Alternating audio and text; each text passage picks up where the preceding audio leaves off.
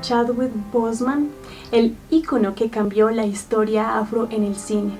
Pero más allá de la tristeza por lo que significó su partida, quiero darles un recorrido por su carrera y sus obras sociales, porque él fue mucho más que Black Panther. Fue un héroe para los niños con cáncer como para los afroamericanos por su lucha contra el racismo.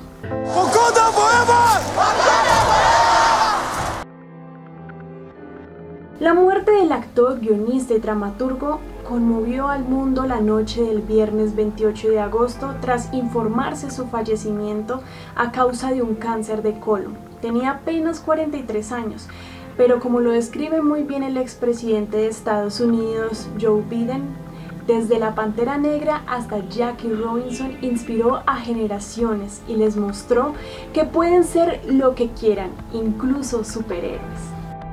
Nacido en Carolina del Sur, era hijo de una enfermera y un empresario de la industria de la tapicería. Bosman tenía raíces en Sierra Leona y el éxito que llegó a obtener fue resultado de sacrificios y un gran esfuerzo por años. Antes de elegir ser actor, estuvo interesado en la pintura y en la arquitectura, pero esta pasión comienza en el año 2000, cuando se graduó de la Universidad de Howard en Washington con un título en dirección cinematográfica. Y uno de los datos más relevantes e interesantes es que por su gran talento y dedicación, uno de sus profesores como compañeros de clase se las ingeniaron para que él obtuviera una beca en la prestigiosa Universidad de Oxford de Inglaterra para estudiar actuación, puesto que es demasiado costosa, pero lo que él no sabía en su momento es que su patrocinador para lograrlo fue el actor Denzel Washington. There is no Black Panther without Denzel Washington. I didn't have money to pay for this. I've basically been holding this secret my, my whole career. Uh, when I came back, um, I got a beneficiary letter, and it said Denzel Washington paid for you. He was like, uh, I haven't met you yet. And I said, Yeah, I got to tell you something. You know, you, you um, pay for me to go to school. He said, Oh, oh, so that's why I'm here. You owe me money. That's why I'm here. I'm not here. I'm not here to see that. I'm not here. I, I like the movie Black Panther, yeah, good. Wakanda forever, but where's my money? Inició su carrera como actor, haciendo apariciones breves en series de televisión como Law and Order All My Children, CSI Nueva York, entre otras, participando en más de 34 producciones. Desde siempre tuvo claro que quería dejar un legado en sus interpretaciones. Por ello, Postman interpretó a los íconos negros Jackie Robinson, Marshall, James Brown y el gran rey T'Challa porque para él era importante mantener vivas a estas leyendas que significaron un cambio en la sociedad y en la historia, con esfuerzo, pasión y perseverancia. Y más allá de sus personajes lo reflejaba en su vida, con el amor que tenía a la actuación y que poco a poco logró abrir camino hasta lograr su mayor éxito en 2018 al protagonizar Black Panther. Panther himself, ladies and gentlemen, Mr. Chadwick Boseman.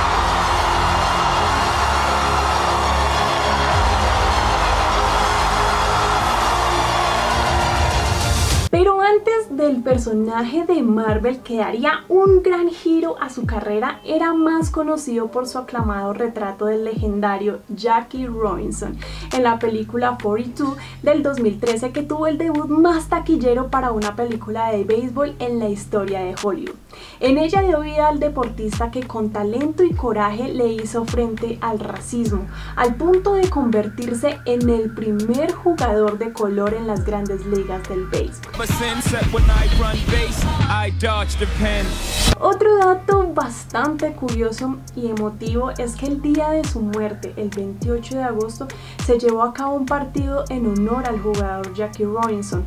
Los jugadores llevaron el uniforme con el número 42. El año 2014 también se le elogió por su interpretación del cantante de soul James Brown y la revista Time lo incluyó entre las 10 mejores actuaciones de 2014. Dos años después, en 2016, sería el año de varias sorpresas, puesto que llegaría a la producción de Dioses de Egipto. En esta película, Bosman no tuvo un rol protagónico, pero aparece como Tot, el dios egipcio de la sabiduría. Poco tiempo después, fue diagnosticado al cáncer de colon, pero optó por guardar silencio para poder continuar su carrera sin inconvenientes, por lo cual sus directores ni compañeros más cercanos lo supieron hasta el día de su muerte. Un gran ejemplo de resiliencia y fortaleza, pues continuó trabajando en varias producciones de Hollywood mientras se sometía a quimioterapias, como lo fue con su gran logro al dar vida al primer superhéroe negro de Marvel interpretando a T'Challa cuando lo vimos aparecer por primera vez en Capitán América Civil War, en el que logró la admiración de miles de fanáticos y críticos en el mundo por su gran interpretación, además como fuente de inspiración de muchos afroamericanos.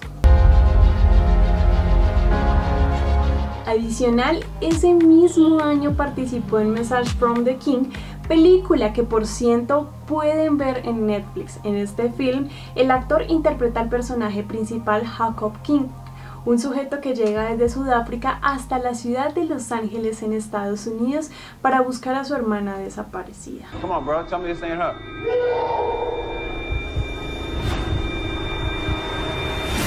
Para el 2017 dio vida a Marshall, el hombre que se convertiría en el primer abogado afroamericano en formar parte de la Corte Suprema de Justicia.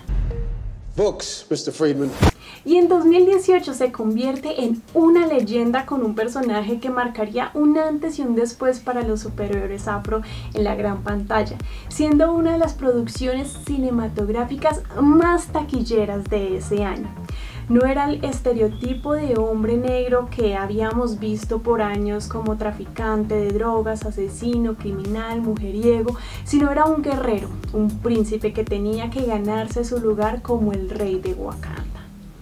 Después del lanzamiento de Black Panther, las personas de color de todo el mundo mostraron su orgullo tras verse identificados por primera vez en la pantalla grande se vieron como reyes, como autosuficientes, poderosos, elegantes, una verdadera fuerza que resaltar, siendo representados por un personaje audaz, fuerte, inteligente y sobre todo noble, con un enorme corazón.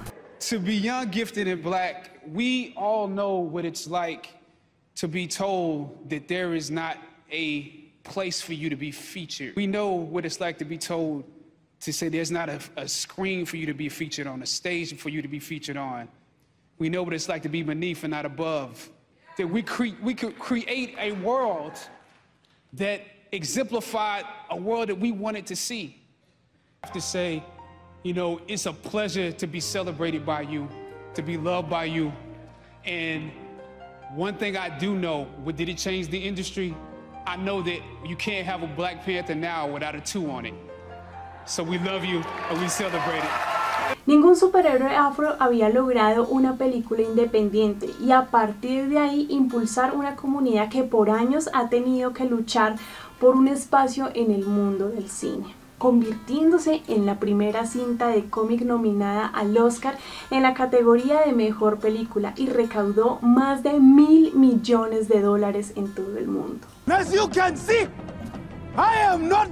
Luego de este grandioso éxito en 2019 llegó a 21 Bridges, una película de acción que también es conocida como Nueva York sin salida, interpretando a Andrew Davis, un policía que debe cerrar la ciudad de Nueva York para atrapar a dos sujetos que asesinaron a otros policías.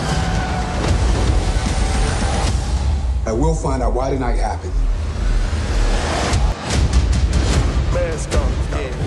al igual que The Five Bloods, una película dirigida por Spike Lee. Esta cinta se estrenó hace unos meses y sigue a cuatro veteranos afroamericanos que luchan contra las fuerzas del hombre y la naturaleza cuando regresan a Vietnam en busca de los restos del líder de su escuadrón caído, la fortuna de oro que les ayuda a esconder.